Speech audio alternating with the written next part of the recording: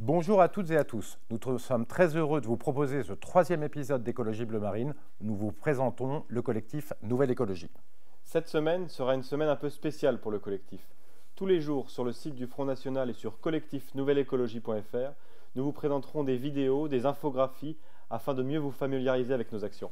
Nouvelle écologie a été créée dans le but d'apporter un vent nouveau à rebours des idées préconçues sur l'écologie. Une écologie trop souvent punitive, trop souvent idéologisée.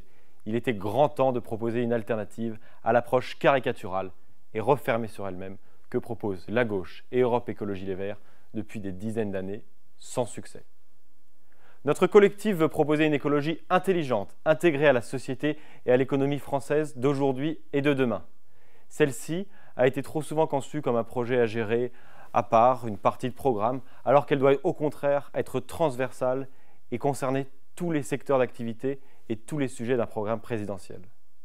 Nous travaillons pour Marine Le Pen sur les sujets énergétiques, à la défense de la biodiversité, des paysages, mais aussi sur l'agriculture et les problématiques de santé publique.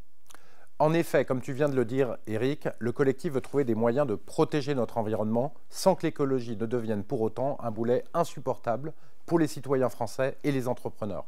Alors que le PS et l'UMP traitent ce sujet pourtant primordial sous le seul angle de la communication politicienne, le Front National et le Rassemblement Bleu Marine ont une réelle volonté de faire bouger les choses.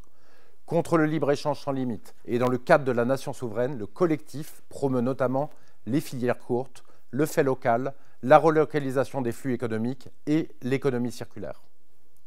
Tout à fait.